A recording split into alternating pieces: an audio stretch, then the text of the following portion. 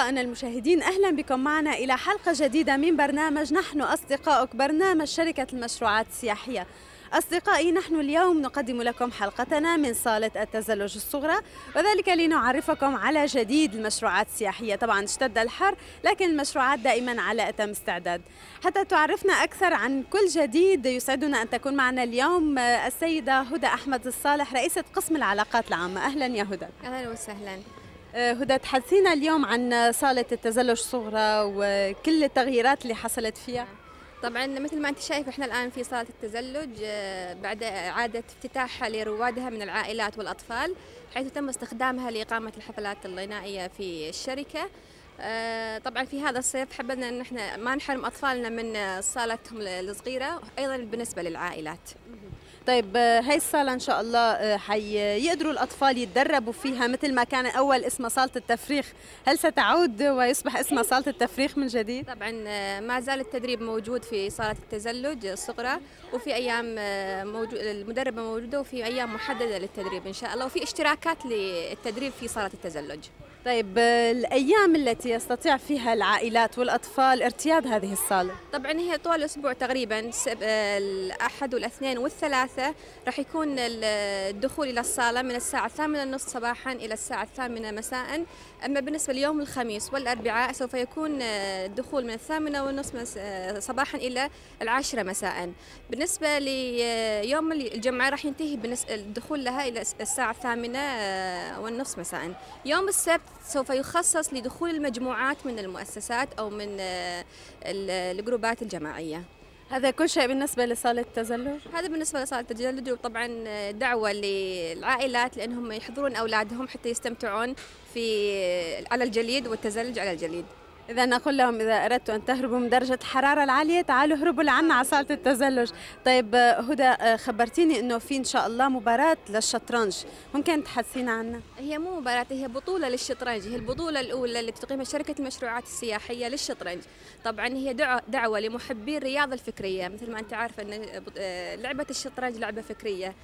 فكثير من محبي هذه اللعبة سعدوا جدا عندما علموا أن هناك في بطولة للشطرنج سوف تقيمها الشركة هذه البطولة راح تكون في نادي راس الأرض البحري سوف تبتدأ في تاريخ 29 6 وسوف تستمر اللقاء لمدة أسبوعين إن شاء الله إمتى بالتحديد يوم البطولة؟ سوف يكون 29 6 إن شاء الله ماذا عن كرة قدم الشواطئ؟ أول خليني أخبرك عن بطولة الشطرنج لأن سوف ترصد لها جوائز قيمة كثيرة وهي بطولة مفتوحة لجميع الأعمار وجميع المستويات في اللعب. فدعوة للجميع للاشتراك في هذه البطولة والحصول على قسائم الاشتراك سوف يكون من نادي راس الأرض البحر إن شاء الله. رسوم الاشتراك أيضا أنا أسف رسوم الاشتراك راح يكون خمس دنانير ل 16 سنة فما فوق وأقل من 16 سنة سوف يكون ثلاث دنانير إن شاء الله ثلاث دنانير. بالنسبة لأعضاء النادي بدون بدون رسوم. طيب إن شاء الله هذا بالنسبة لبطولة الشطرنج. أيضا إلى الذين يحبون قضاء الصيف على شواطئ البحر هناك بطولة كرة قدم أيضا. أيضا لمحبي كرة القدم ومشجعيها. أحب إن أنا أنوه أن شركة المشروعات تعتزم على إقامة بطولة قدم كرة قدم الشواطئ ولأول مرة في الكويت. طبعا كرة القدم محبينها كثيرين على أرض الملاعب ولكن على الشواطئ راح تكون أكثر خصوصا في جو في فصل الصيف. سوف تكون البطولة خماسيات. يعني خمس لاعبين راح ينزلون الملعب وثلاث راح يكونون احتياط وأيضا راح تكون مفتوحة يعني أي شخص يكون فريق ممكن إنه هو يسجل في هذه البطولة. سوف ترصد جوائز قيمة جدا لهذه البطولة التي سوف تستمر أسبوع كامل وأيضا كأس للفريق للمركزين الأول والثاني وميداليات ذهبية وفضية. هناك شروط خاصة لكرة قدم الشواطئ. ممكن نعرف السادة المشاهدين إلى الذين لم يسمعوا بها من قبل؟ طبعا أهم شرط أن النزول إلى أرض الملعب بالشاطئ سوف يكون بدون حذاء. وسوف يكون كل فريق له لبس موحد إن شاء الله. طيب متى المدة إذا كان مثلا الصبح حتكون الرمال على الشاطئ حارة بشكل كبير؟ طبعا لا سوف تكون في المساء تقريبا من الساعة السابعة إلى الساعة العاشرة وسوف يكون مدة المباراة نصف ساعة.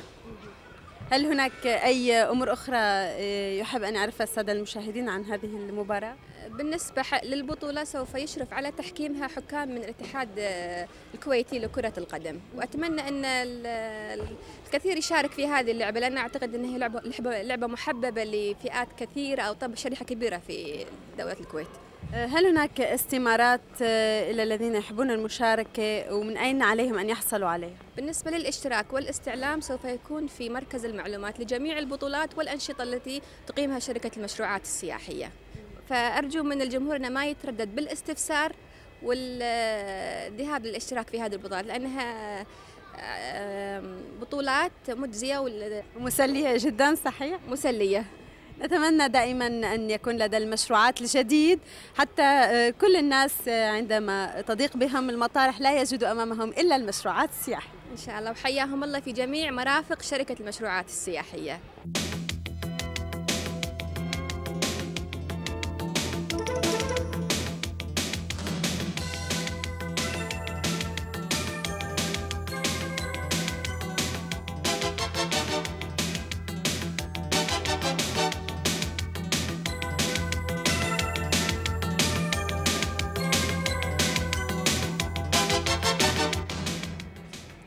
أصدقائنا المشاهدين كاميرا نحن أصدقائك متواجدة دائما في مرافق شركة المشروعات السياحية لذلك فقد فاجأت الفنان مصطفى أمر وهو يتناول الغداء على مائدة المشروعات السياحية في الأبراج.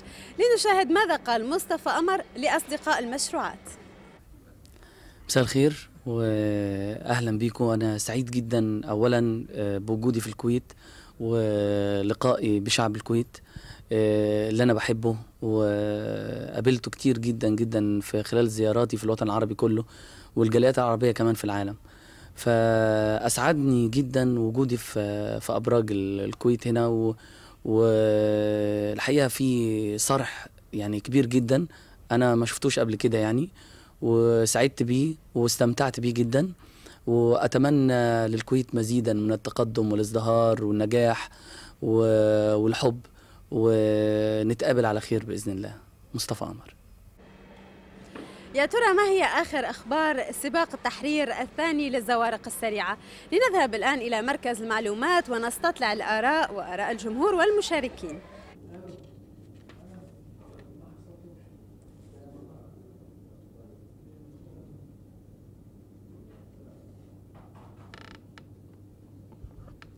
بسم الله الرحمن الرحيم. حاليا أتواجد في مركز المعلومات شركة مشروعات سياحية ويا يسجل في سباق آه، تحرير الهواة طبعا هذه فكرة جيدة بالنسبة حق آه، هواة هذه آه، القوارب. ونشكر شركة المشروعات السياحية على الاهتمام بهذه الرياضة الحلوة المثيرة. ونشكر ثانيا لجنة القوارب السريعة اللجنة الكويتية للقوارب السريعة. وإن شاء الله إحنا نتمنى انها يتكرر في دولة الكويت آه، مثل باقي الدول العربية. وشكرا.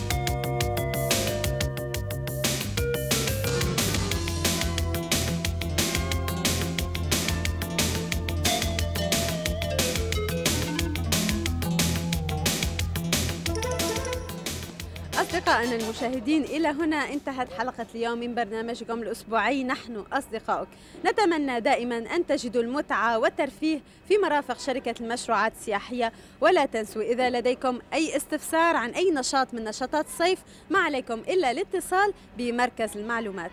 وشكرا لكم على المتابعة. إلى اللقاء الثلاثاء المقبل.